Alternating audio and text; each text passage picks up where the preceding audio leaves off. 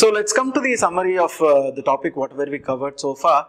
Uh, we broadly covered two major topics. One is your recruitment and selection process planning, and the second one is how do we do the personnel planning and forecasting. So under that we covered about uh, the personnel planning and forecasting. First one is we need to you know probably work out about candidate pool and uh, collect an application form.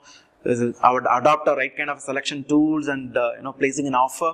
And we also looked at about overall you know personnel needs like so your own supply of inside candidate and supply of outside candidates and how do we go about different factors to be you know taken into consideration?